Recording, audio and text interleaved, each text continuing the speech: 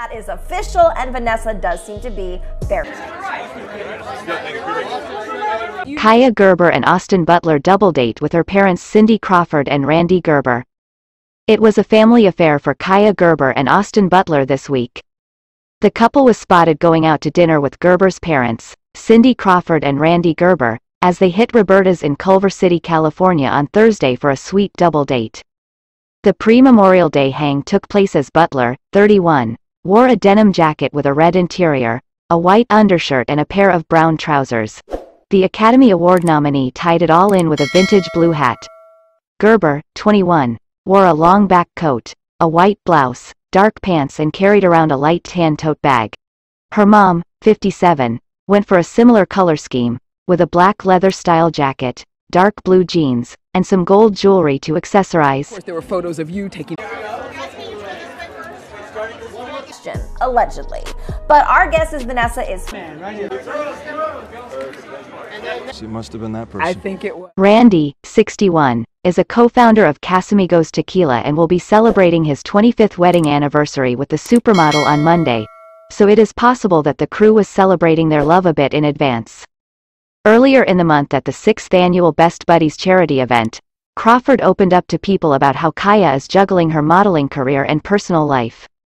I think that she kind of sees how my husband, Rande Gerber, and I have dealt with it throughout the years, Crawford said.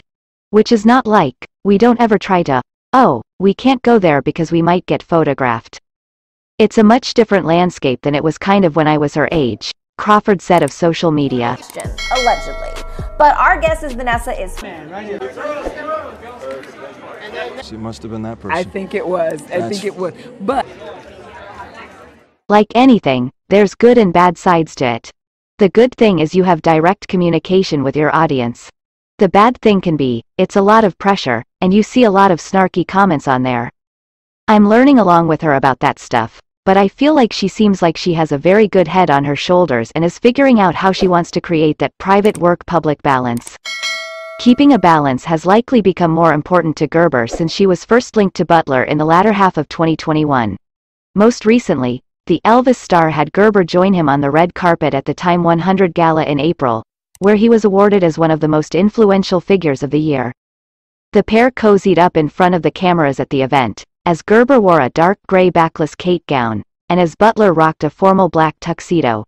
The outing came after both were spotted on vacation in Cabo, Mexico, following Butler's busy awards season run and press tour. That's how we present this content. Don't forget to like, comment, share and subscribe. For the support of our viewers, thank you. Who did just. over here, for the house, over here. Chris wrote in, quote, can confirm that Austin and Kaia are act. No, they didn't.